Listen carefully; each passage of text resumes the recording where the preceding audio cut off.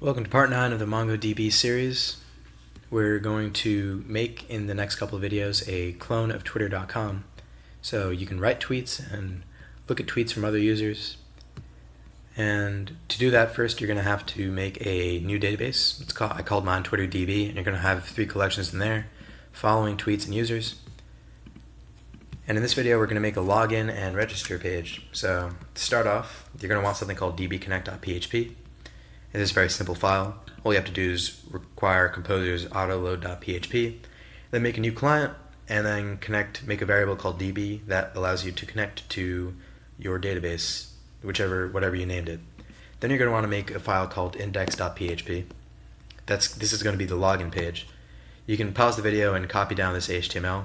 This just makes this form over here. So a form, a login button, and a link to the register page.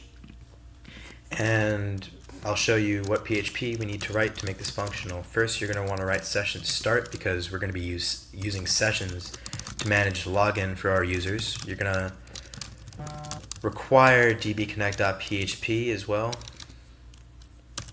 Whoops, okay, dbconnect.php. We're going to do a quick check to see if any users are logged in. If they are, then we're just going to redirect them to the home page.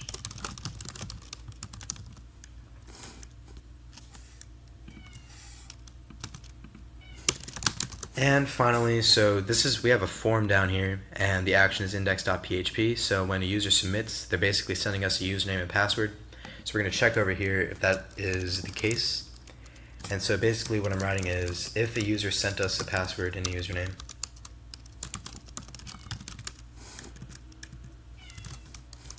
and password. Whoops, password.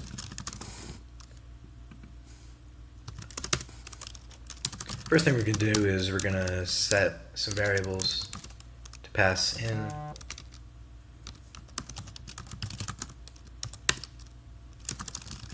Password, and we're going to want to hash our password because the passwords that we're storing in our database are not plain text, they're hashed for security purposes, of course.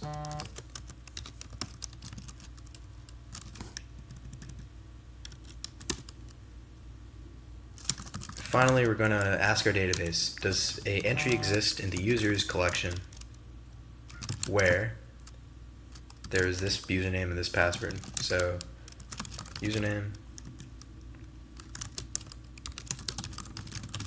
and password.